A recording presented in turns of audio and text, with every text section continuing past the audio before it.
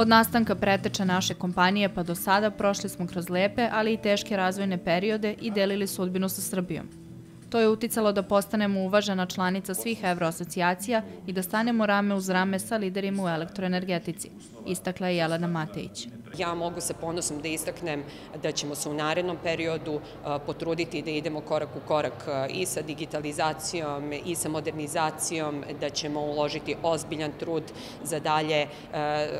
unapređenje saradnje sa univerzitetima, da ćemo se potruditi da mladi ostaju u našoj zemlji, da im obezbedimo radna mesta, da ne moraju da idu napolje, posebno mislim na